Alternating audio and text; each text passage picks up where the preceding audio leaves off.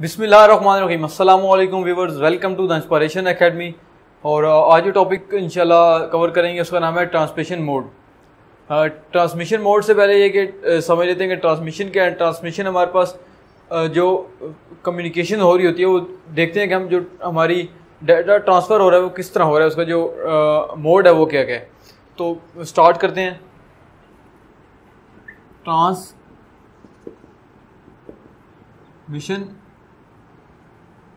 mode.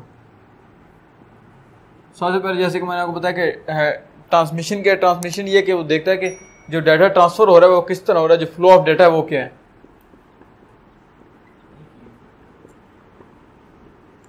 हमारे पास यहाँ पे तीन तरह के जो कैटेगरीज हैं ट्रांसमिशन मोड की वेरी बेसिक सा टॉपिक है। तो इसमें ये कि समझना आपका भी ज़रूरी था। तो इसमें हमारे तीन तरह के हमारे पास मोड हैं। जो फ़र्स्ट है वो है सिंप्लेक्स। जो सेकंड है वो है हाफ़ डुप्लेक्स। और जो थर्ड है वो है फुल डुप्लेक्स। देखिए व्यूवर्स ये हमारे पास हो गए हैं कि तीन तरह के मोड हैं। Simplex mode half duplex mode और फुल डुप्लेक्स मोड तो सबसे पहले स्टार्ट करते हैं सिंप्लेक्स मोड से.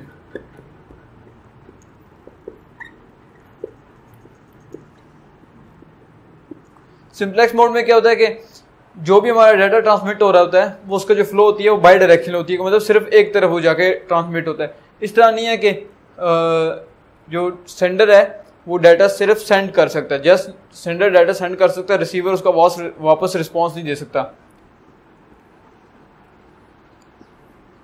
जैसा कि हमारे पास दो डिवाइसेस हैं first one sender and receiver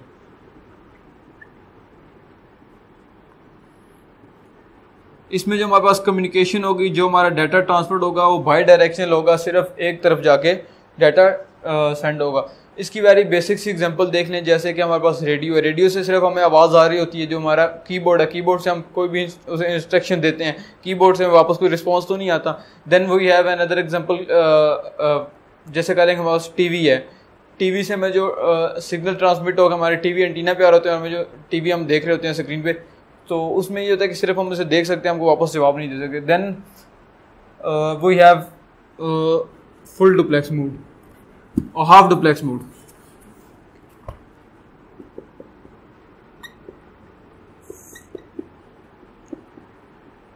half duplex mode में हमारे पास क्या होता है कि हम डाटा जो है वो सेंड कर रहे होते हैं और रिसीव भी कर रहे होते हैं but not at the same time for example के जो सेंडर है, वो पहले डाटा सेंड करेगा वेट करेगा कि मेरा डाटा सेंड हो गया, फिर रिसीवर जो है वो डाटा रिसीव करके वापस उसका जवाब देगा. ये नहीं है कि अब डाटा तो उसे सेंड भी कर रहा है और वो फिर जो रिसीवर है उसका वापस रिस्पॉन्स भी कर रहे हैं।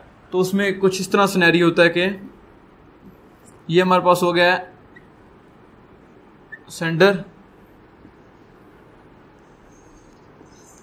और ये हो गया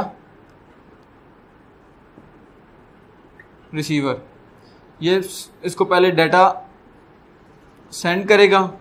डाटा इसका सेंड होने के बाद जो फिर रिसीवर वापस इसका रिस्पॉन्स करेगा।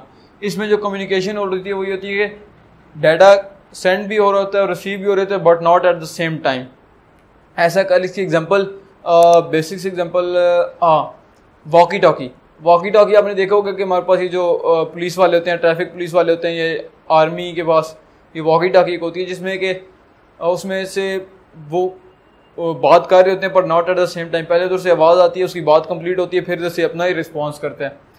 तो आई होप इसकी आपको समझ आई होगी। फिर इसके बाद हमारे पास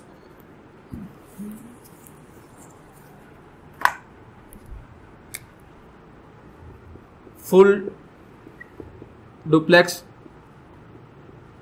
mode full duplex mode में क्या होता है कि हमारे पास जो ट्रांसमिशन हमारी डाटा का ट्रांसफ़र हो होता है, वो एक ही टाइम पे हो होता है कि मतलब इधर से डाटा सेंड भी हो होता है और वापस उसका रिस्पांस भी हो होता है कि मतलब कहने के इसकी मैं आपको फिगर से समझाता हूँ।